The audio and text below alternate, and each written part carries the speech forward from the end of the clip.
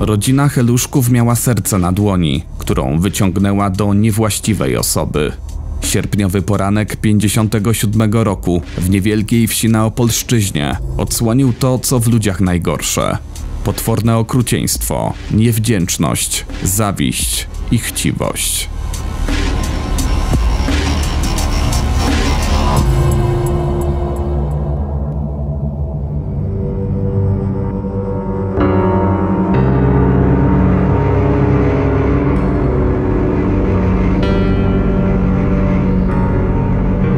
Opowiem Ci historię. Kamil Barnowski. Zapraszam.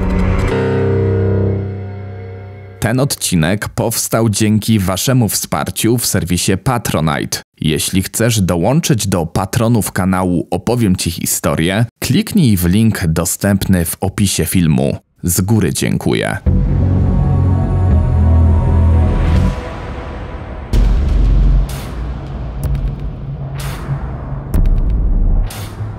Jan Heluszka urodził się jeszcze w czasach zaborów w 1899 roku.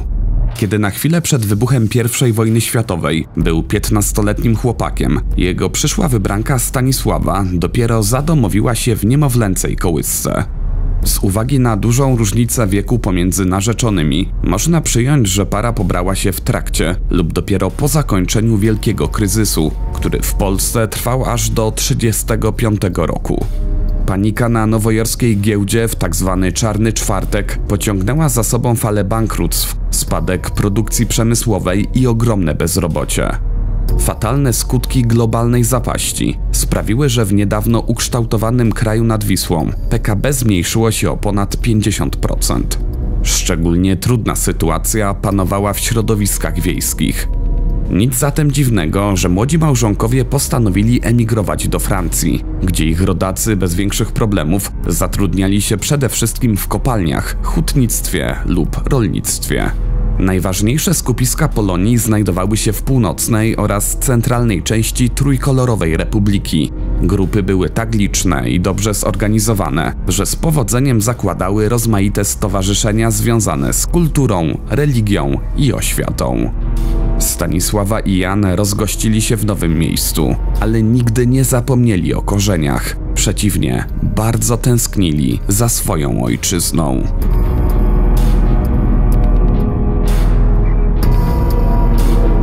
W 1933 roku sytuacja ekonomiczna państw kapitalistycznych stopniowo zaczęła się poprawiać. Heluszkowie jako ludzie nie bojący się ciężkiej pracy potrafili na siebie zarobić i z czasem zgromadzili niewielkie oszczędności. Niestety, w opinii wielu historyków, wielki kryzys, który wreszcie żegnano z nadzieją na lepsze jutro, miał jeszcze jeden bardzo ważny skutek. U steru III Rzeszy znalazło się NSDAP, a tym samym Niemcy wpadły w objęcia Hitlera. W dobie szaleństwa II wojny światowej 31 października 1941 roku na świat przyszła pierworodna córka małżeństwa, Genovefa. Cztery lata później, już po kapitulacji państw osi, urodziła się jej młodsza siostra, Władysława. W tym okresie Polska po raz kolejny organizowała się na nowo. Komunistyczne władze kusiły obywateli wspaniałościami ziem odzyskanych, zachęcając do urządzania się w zadbanych po niemieckich gospodarstwach, oferując pracę w fabrykach lub przy odnawianiu zbombardowanych miast. Dopiero co przyłączona część kraju przyciągała skutecznie i to nie tylko tych, którzy z racji przesiedleń musieli opuścić kresy wschodnie.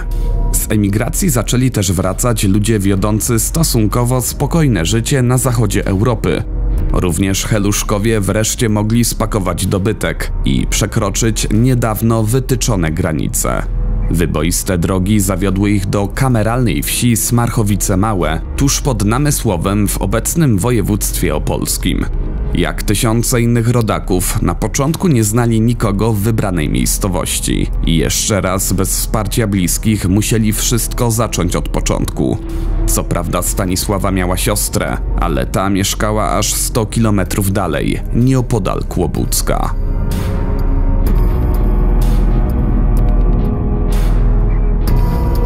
Na szczęście rodzina szybko zaklimatyzowała się na malowniczej równinie oleśnickiej. Do swojej dyspozycji zyskała poniemiecki dom otoczony polami i dwoma hektarami ziemi uprawnej. Nie było to wiele, choć zbierane plony dawały pewne dochody. Małżonkowie dorobili się też kilku owiec, świń i krów. Na co dzień zajmowała się nimi głównie Stanisława, którą z biegiem lat zaczęły wspierać dorastające pociechy.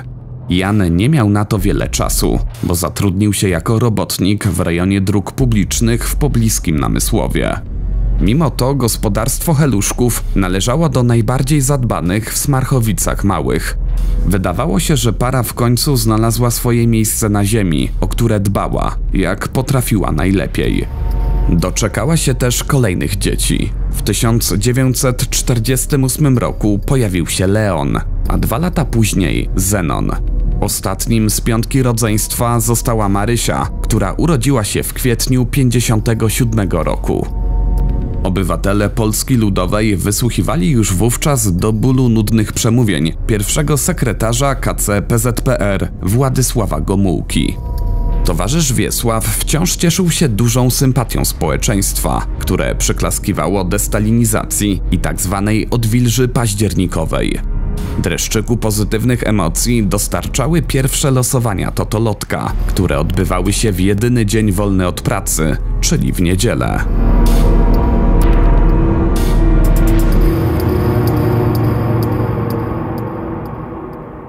Sytuacja ekonomiczna kraju nie była szczególnie wesoła, ale Heluszkowie wiedli ustabilizowane i pozornie przewidywalne życie. Siedmioosobowa rodzina szybko zyskała sympatię swoich sąsiadów. Nikt nie skarżył się na pijaństwo czy awantury, za to wielu było wdzięcznych za bezinteresowną pomoc w trakcie żmudnych robót polowych. Jan i Stanisława nie chcieli w zamian pieniędzy, więc zaprzyjaźnieni gospodarze w miarę skromnych możliwości podrzucali im ziemniaki, mąkę lub świeżo upieczony chleb. Heluszkowie potrafili zjednywać sobie ludzi, ale myśleli też o własnych interesach. Przede wszystkim zamierzali kupić konia i wóz na gumowych kołach, które bardzo uprościłyby codzienność. Wydatek był niemały, jednak wkrótce po żniwach udało im się sprzedać żyto za prawie 5000 złotych. Biorąc pod uwagę, że przeciętne wynagrodzenie wyniosło wtedy niecałe 1300 zł, istniały spore powody do zadowolenia. Dużo gorzej przedstawiała się sytuacja u siostry Stanisławy. W jej wiejskim domu pod Kłobuckiem wręcz piszczała bieda. W dodatku 19-letni syn Edmund od pewnego czasu pozostawał bezrobotny. Kobieta liczyła na to, że krewniacy zapewnią mu miejsce pod dachem i pomogą znaleźć uczciwe zajęcie. Zgodnie z jej przewidywaniami, życzliwi małżonkowie nie widzieli problemu.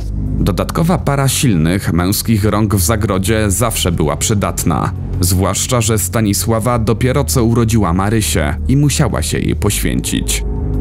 Edmund Słaby przyjechał do ciotki 19 sierpnia 57 roku. Postawny niebieskooki blondyn zrobił na swoich gospodarzach bardzo pozytywne wrażenie. Heluszkowie chcieli dla niego jak najlepiej, więc za pośrednictwem znajomego postarali się o stanowisko w pobliskim PGR-ze w Krzykowie. Warunek zatrudnienia był w zasadzie tylko jeden: wpis do dowodu osobistego o zameldowaniu na terenie powiatu. Chłopak wykręcił się od gotowej posady, twierdząc, że brakuje mu odpowiedniego ubrania. Tymczasem w Smarchowicach robił to, co mu kazano. Oporządzał zwierzęta, chodził w pole, nosił wodę lub uczestniczył w wycince drzew. Oczywiście w niewielkiej wsi nowe twarze od razu rzucały się w oczy i wzbudzały podejrzenia, a szczególnie u czujnych mundurowych.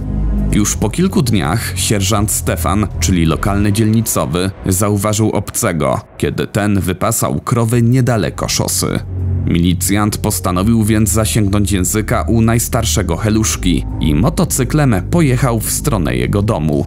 Zagadnięty gospodarz powiedział, że nastolatek to siostrzeniec Stasi, który od niedawna u nich pomieszkuje. Stwierdził też, że Edmund jest dobrym, pracowitym i spokojnym młodzieńcem. Po krótkiej rozmowie usatysfakcjonowany funkcjonariusz pożegnał się i udał w swoją stronę. Po latach niestety wspominał. Jan mówił to szczerze. Zaufałem jego słowom i przez to do dzisiaj mam wyrzuty sumienia. Gdybym wylegitymował wtedy Edmunda, spisał jego dane, to mógłby się wystraszyć, że po sprawdzeniu w komendzie zostanie rozpoznany. Wyjechałby, a Heluszkowie by żyli. Na tragedię nie trzeba było długo czekać. W sobotę 30 sierpnia 1957 roku sześcioletni Tadeusz i jego starsza siostra wypasali krowy na łące w pobliżu feralnej zagrody. Świadek, który w młodości często bywał u Jana i Stanisławy, zeznał. To był upalny dzień. Chciało nam się pić, więc siostra wysłała mnie po wodę do gospodarstwa Heluszków, które było tuż za miedzą. Poszedłem, ale wszystko było pozamykane, nikt mi nie otworzył. Tak więc spaśliśmy krowy, póki szło wytrzymać. W końcu przed czasem poszliśmy do domu. Matula zrobiła nam awanturę, bo krowy nie były najedzone. Zanim dziewczynka zdecydowała o powrocie, nie dowierzając małemu bratu, sama zajrzała do sąsiadów. Rzeczywiście, drzwi do ich mieszkania były zamknięte, a wszędzie panowała niezwykła jak na tę porę dnia cisza. Przez kuchenną szybę na podłodze można było dojrzeć coś na kształt leżącej, przykrytej postaci. Zdziwione dzieci w drodze do swojej obory spotkały niejakiego Leona i opowiedziały mu o niepokojącym braku wieloosobowej rodziny. Mężczyzna również miał złe przeczucia, więc pojechał wozem pod znajomy adres. Obszedł wszystkie zabudowania, aż w końcu zajrzał do chlewika. Tam w przegrodzie dla świń, spod słomy, wystawały nogi zamordowanego 58-letniego Jana. Przerażony Leon natychmiast pognał konia, żeby zawiadomić milicję. Okazało się, że w międzyczasie sierżant Stefan podążał już do zagrody, ponieważ dostał zgłoszenie, że krowy heluszków pasą się bez nadzoru i weszły komuś w szkodę.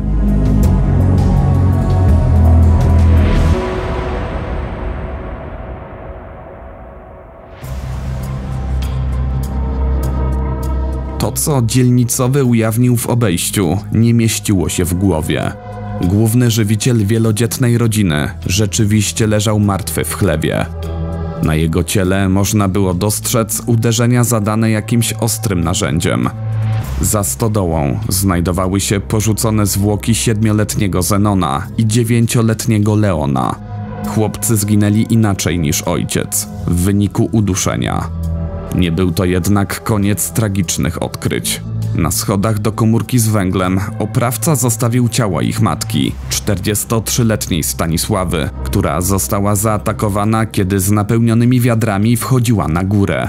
Najwyraźniej kobieta planowała zagotować wodę lub przygotować ciepły posiłek. Obok, jak gdyby nigdy nic, widniała zakrwawiona siekiera. Po sforsowaniu wejścia do domu, oczom zaalarmowanych mieszkańców Smarchowic Małych ukazała się 16-letnia Genovefa. Dziewczyna leżała pod kuchennym piecem, przykryta ceratą ściągniętą ze stołu.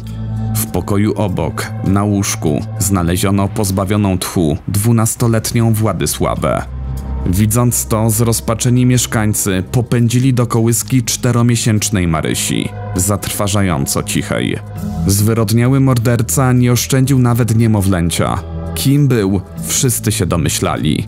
Blondyn z oczami w kolorze nieba, który od niespełna dwóch tygodni pomagał heluszkom w gospodarstwie, zniknął, a wraz z nim prawie 5 tysięcy złotych ukrytych w nieczynnym piecu i kilka cennych, przedwojennych monet. Tymczasem Edmund przebywał w zupełnie innej miejscowości. Zapewne nie spodziewał się, że wpadnie prosto w ręce milicjantów już kilka dni później, w poniedziałek 2 września. Funkcjonariusze powitali go na dworcu kolejowym w Piławie Górnej, kiedy wysiadał z pociągu. Na nadgarstkach zabójcy natychmiast zawisły wątpliwe ozdoby w postaci niewygodnych metalowych kajdanek. Podejrzany został przewieziony do Namysłowa i osadzony w areszcie. Okoliczni mieszkańcy dobrze wiedzieli, jakie indywiduum sprowadzono do ich miasta. Wzburzony tłum zgromadził się pod oknami komendy, chcąc samodzielnie wymierzyć sprawiedliwość. Do zapanowania nad rozgniewanym ludem musiano wezwać posiłki. Od tej pory masowy morderca stale był pod ochroną. Chwila nieuwagi w trakcie wizji lokalnej lub podczas transportu groziła uzasadnionym linczem. Kim tak naprawdę był 19-letni Edmund Słaby, okazało się w trakcie krótkiego, ale owocnego śledztwa. Wbrew słowom ufnego Jana Heluszki, chłopak nie należał ani do spokojnych, ani pracowitych, a już z całą pewnością do dobrych. Problemy sprawiał od najmłodszych lat. Nie chciało mu się uczyć, więc edukację zakończył na zaledwie pięciu klasach podstawówki. Z dużym prawdopodobieństwem skorzystał z prawa, jakie wówczas obowiązywało w PRL-u. Przymus chodzenia do szkoły nie obejmował dzieci, których droga z domu do placówki wynosiła ponad 3 km. Rodzice Edmunda byli prostymi ludźmi, więc nie naciskali na zdobycie wykształcenia. W tamtym okresie nawet analfabetyzm był zjawiskiem powszechnym i nikogo nie dziwił. Zwłaszcza na wsiach umiejętność poprawnego pisania nie była tak ważna jak krzepa, zdrowie i sprawne ręce. Mimo to ubodzy gospodarze musieli utrzymywać syna aż do 17 roku życia. Leniwy potomek, o którym mówiono, że ma ręce skrzyżowane na plecach, nie kwapił się ani do wysiłku umysłowego, ani fizycznego. Niskie pensje skutecznie zniechęcały go do podjęcia jakiegokolwiek zatrudnienia. W końcu pod naciskiem bliskich nastolatek zaczepił się w spółdzielni odpowiedzialnej za rozładunek wagonów kolejowych. Od tej pory każdego ranka zakładał wytarte spodnie po ojcu, zabierał chleb z margaryną, który matka zawijała mu w gazetę i ruszał do znienawidzonego kieratu. Jego fatalne nastawienie bardzo szybko przełożyło się na identyczną opinię. Współpracownicy nie tylko nie przepadali za jego towarzystwem, ale opisywali go jako osobę ordynarną, nieuczciwą i lekkomyślną. Edmund, choć uważany za prostaka, cały czas miał poczucie, że zasługuje na więcej. Wzbierały w nim żal, złość i gniew. Reporter Nowej Trybuny Opolskiej zanotował. Mundek, wracając po robocie do domu, z błyszczącymi oczami zaglądał przez szyby do knajpy na rynku w Kłobucku, gdzie bawiły się miejscowe niebieskie ptaki. Zazdrościł im pieniędzy i tych rozchichotanych dziewczyn w przemycanych z zachodu nylonowych pończochach. Patrzył, jak siadały im na kolanach. On nie miał nawet garnituru na wiejską zabawę. Edmund był żądny pieniędzy, jednak nie lubił się męczyć, więc dość szybko porzucił posadę w spółdzielni. Razem z kolegą obmyślił już plan, który miał mu zapewnić bogactwo. Ponieważ znał teren i procedury rozładunku wagonów, postanowił jakiś obrabować. Kumple zakradli się na bocznicę kolejową, ale zamiast cennego łupu znaleźli tylko instrumenty muzyczne. Zawiedzeni i wściekli stwierdzili, że nie odejdą z pustymi rękami. Zabrali trąbkę oraz klarnet, chociaż nie potrafili na nich grać. Skradzione mienie było własnością państwową, dlatego milicjanci wyjątkowo poważnie zajęli się pościgiem i bardzo szybko wpadli na trop złoczyńców. Przestępcy, mimo że dotychczas niekarani, zostali potraktowani bardzo surowo. Zasądzono im aż pół roku pozbawienia wolności. Przerażony Edmund, w przeciwieństwie do kumpla, nie zamierzał spędzać za kratami nawet jednego dnia. W oczekiwaniu na uprawomocnienie wyroku wyjechał do krewnych w Częstochowie. Kilka tygodni później, za radą przejętej matki, podążył do ciotki Stanisławy. Tak daleko od domu miał szansę wtopić się w tłum i zniknąć z radaru mściwej władzy ludowej.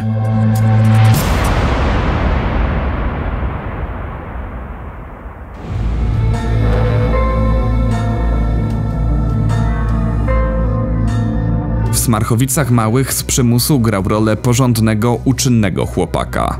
Propozycja zatrudnienia w pobliskim PGR-ze zbiła go nieco z tropu, ale szybko się z niej wykręcił. Pod żadnym pozorem nie mógł sobie pozwolić na pokazanie wymaganych dokumentów, bo wtedy zostałby rozpoznany i zaprowadzony prosto do celi. Robił więc to, co zwykle robi się na wsi. Równocześnie planując to, co planują tylko wyjątkowo zdemoralizowane umysły. Drugiej lub trzeciej nocy po zamieszkaniu u Heluszków Edmund podsłuchał ich rozmowę o odłożonych oszczędnościach. Jego wyobraźnia zaczęła pracować pełną parą. Zobaczył się w modnych ubraniach, jak beztrosko szasta pieniędzmi przy barze, dlatego nie było żadnego odwrotu.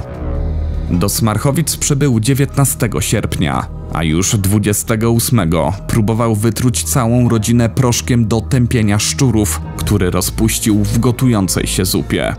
Tego dnia powiedział gospodyni, że bardzo boli go brzuch i uprzejmie podziękował za posiłek. Ze swojego miejsca patrzył, jak siedzący przy stole łykają przyprawiony wywar i łyżka po łyżce odliczał ich chwilę do zgonu. Wbrew złowrogim nadziejom nie stało się jednak nic. Dopiero kilka godzin później dzieci miały lekkie dolegliwości żołądkowe, natomiast dorośli nawet raz na nic się nie poskarżyli. Tym razem heluszkowie wywinęli się śmierci. Trucizna była albo zepsuta, albo zjedli jej zbyt mało, aby poważnie im zaszkodziła. Niestety Edmund pokazał determinację. Uznał, że weźmie sprawy w swoje własne ręce i to dosłownie. W piątek 30 sierpnia 57 roku obudził się podekscytowany jeszcze przed świtem, oczekując na zwyczajowe rozproszenie się domowników po zagrodzie. Postanowił, że najpierw musi się pozbyć najsilniejszych przeciwników, czyli gospodarza i jego żony. Kiedy Mundek zorientował się, że Jan wyszedł do zwierząt, wymknął się z sieni i po drodze chwycił siekierę, która jak zawsze leżała obok pieńka do rąbania drewna. Do chlewika zakradł się tak cicho, jak tylko potrafił. Jego wuj czyścił akurat koryta swoich świń. Pierwszy cios dostał od tyłu, prosto w głowę. Trzy kolejne dobiły go, gdy leżał już na klepisku. Oprawca przeciągnął ofiarę do przegrody i byle jak przykrył słomą, po czym ruszył w kierunku Stanisławy. Kobieta właśnie wracała z ciężkimi wiadrami z komórki na węgiel. Stała na schodach, więc była wyjątkowo łatwym celem. Zaskoczona od góry, nie miała jak się obronić. Kilka uderzeń obuchem siekiery odebrało jej życie. Tym samym najtrudniejsze zadanie Edmund miał za sobą. W stosunku do dzieci nie musiał używać tak dużej siły, więc ciężkie i niewygodne narzędzie zbrodni po prostu zostawił przy ciotce. Ze znalezionego drutu zrobił trzy amatorskie garoty i włożył je do kieszeni kamizelki. Kiedy zorientował się, że jego dwaj mali kuzyni bawią się na podwórku, postanowił, że po kolei zwabi ich za oborę. Najpierw zawołał dziewięcioletniego Leona, twierdząc, że chce mu coś pokazać. Stanął za chłopcem i momentalnie pozbawił go tchu, zaciskając mu pętle na szyi. W identyczny sposób postąpił z siedmioletnim Zenonem. Zapewne był zadowolony, że bez krzyków i szamotaniny błyskawicznie pozbył się aż czterech osób. Pozostały mu jeszcze trzy ofiary, które cały czas przebywały w domu, więc Mundek ostrożnie wszedł do kuchni. Znowu miał szczęście. Szesnastoletnia Genovefa kucała przy piecu, odwrócona tyłem, próbując wzniecić ogień. Zabójca nie musiał nawet sięgać po ostatnią garotę. Po uśmierceniu kuzynki, Edmund nakrył jej ciało tym, co akurat miał pod ręką. Według współczesnych profilerów kryminalnych, zasłanianie twarzy ofiary pomaga sprawcom mentalnie odciąć się od dokonanego czynu. Być może i słaby nie chciał patrzeć w zastygłe oczy Genowefy i mierzyć się z poczuciem winy. Dwunastoletnia Władysława ubierała się w sąsiednim pokoju, w ogóle nie zdając sobie sprawy z tego, co się dzieje. Bandyta zastał ją siedzącą na łóżku w trakcie zakładania butów. To na dziewczynce użył ostatniego drutu. Nie wiadomo, czy zawahał się stając nad najmłodszą istotą w smarchowickim domu. Faktem jest, że zaledwie czteromiesięczną Marysię udusił jedną ręką. Śledczy nie potrafili tego zrozumieć. O ile świadome rodzeństwo mogłoby zeznawać w sprawie, tak niemowlę w niczym mu nie przeszkadzało. Edmund tłumaczył później, że nie chciał, aby maleństwo w samotności umierało z głodu, więc zabił je z litości. Okazało się, że uśmiercenie wszystkich siedmiu członków rodziny zajęło mu tylko 45 minut.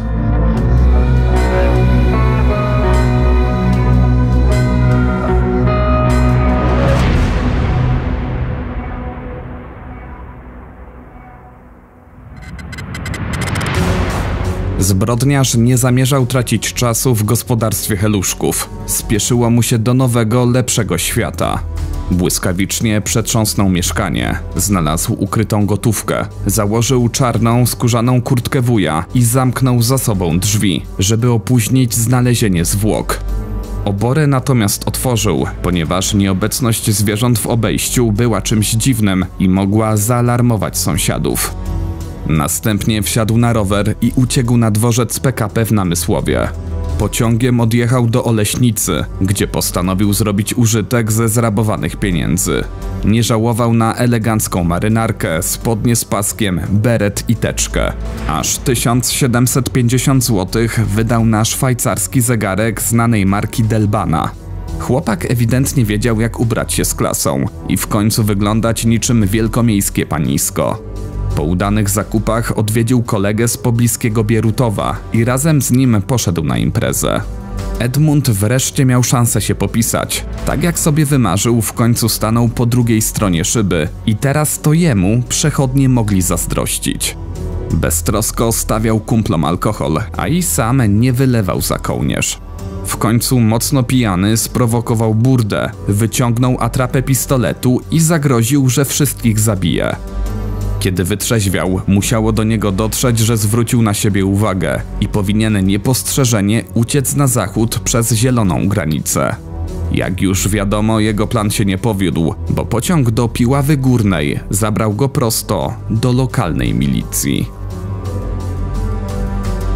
Rozprawa przeciwko bestialskiemu oprawcy rozpoczęła się 16 stycznia 1958 roku przed Sądem Wojewódzkim w Opolu.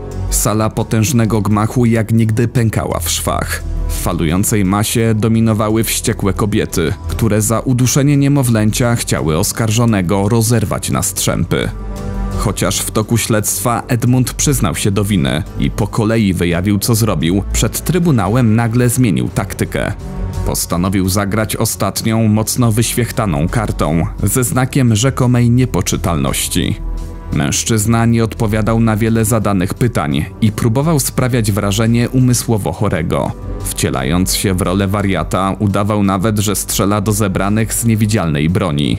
Doświadczeni sędziowie nie dali się jednak zwieść i już po kilku dniach procesu orzekli, że masowy morderca zasługuje na śmierć. Mundek oczywiście nie poddał się tak łatwo. Nie wahał się zabić, ale sam desperacko chciał żyć. Echo Krakowa 7 lutego 1959 roku doniosło. Sprawa potwornego mordu, który wstrząsnął społeczeństwem Opolszczyzny, znalazła się po raz drugi w sądzie wojewódzkim w Opolu. Była to rozprawa rewizyjna przeciwko dwudziestoletniemu Edmundowi Słabemu, mordercy siedmioosobowej rodziny Heluszków ze wsi Smarchowice. Wydany rok temu wyrok śmierci Sąd Najwyższy na skutek apelacji obrony uchylił, zalecając rozpatrzenie sprawy z udziałem biegłych psychiatrów. Ponowny, czterodniowy proces dowiódł w pełni, iż zwyrodniały morderca nie cierpi na żadne zaburzenia psychiczne. Został on po raz drugi skazany na karę śmierci. Zbrodniarzowi, który chciwie pragnął luksusu, w ostatnich chwilach życia nie była dana nawet prawdziwa szubienica, ani profesjonalny kat. Wieczorem 9 września 59 roku Edmund Słaby został wyprowadzony z celi i skierowany do piwnicy centralnego więzienia w Opolu. Pod sufitem wisiał hak, a na kopnięcie taboretu niecierpliwie czekał zwyczajny palacz lub konserwator, któremu wyznaczono okazjonalną rolę oprawcy. W ramach ostatniego życzenia Edmund napisał list do swojej matki, w którym usilnie przekonywał, że to nie on zabił jej siostrę i pozostałych heluszków. Do samego końca wypierał się winy. Sparaliżowany strachem został powieszony o 19.25, będąc tym samym ostatnią osobą straconą w Opolu. Pochowano go nie w rodzinnych stronach, lecz na miejskim cmentarzu. Jego ofiary leżały już natomiast we wspólnym grobowcu na cmentarzu komunalnym przy ulicy Jana Pawła II w Namysłowie. W trakcie uroczystego pogrzebu Heluszków największe emocje wśród tłumu żałobników wzbudziła maleńka trumienka Marysi, oparta na trumnie jej matki.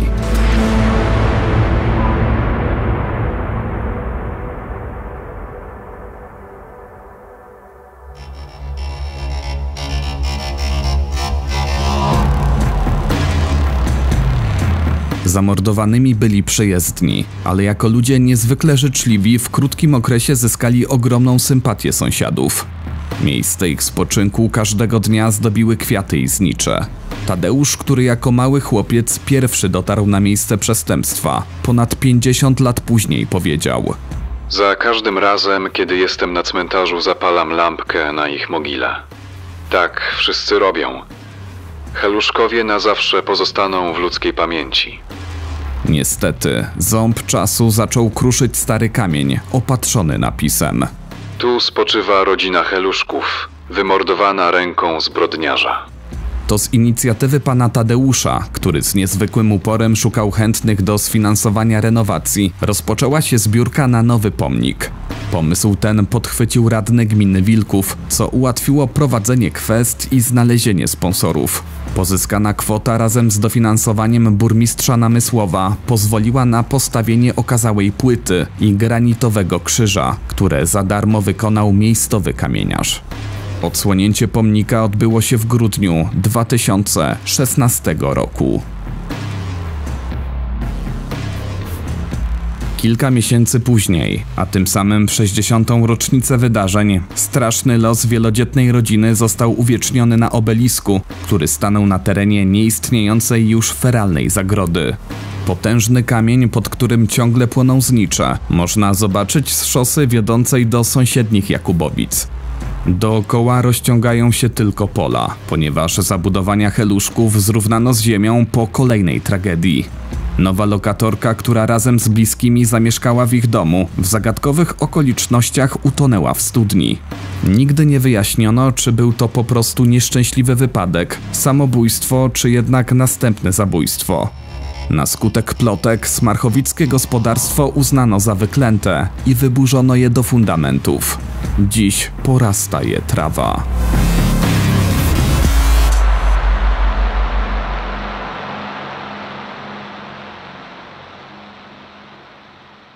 Jeśli spodobał Ci się ten odcinek, proszę oceń podcast Opowiem Ci historię w serwisie Spotify. Dzięki temu poruszane tutaj historie będą mogły dotrzeć do większego grona odbiorców. Z góry dziękuję.